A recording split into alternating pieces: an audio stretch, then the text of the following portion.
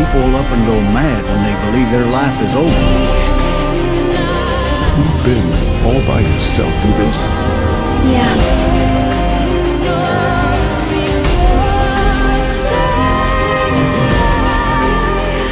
You saw them die.